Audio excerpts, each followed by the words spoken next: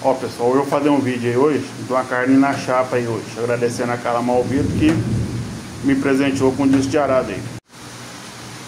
Uma banhinha de porco, pessoal.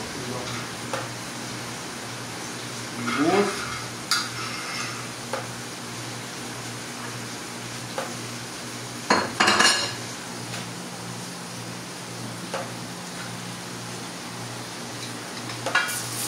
uma linguiça de javali, nós pedimos essa copo, né?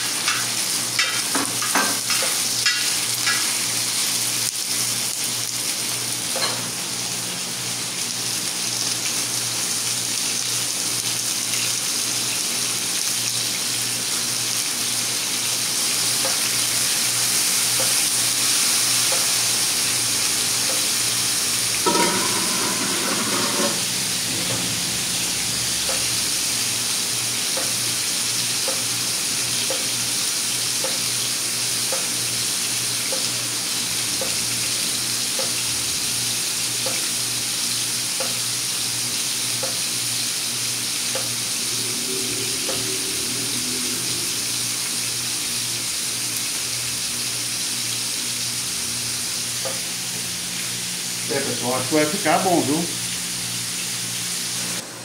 Olha aí, pessoal, tá começando a tomar forma. Acho que vai ficar top, hein?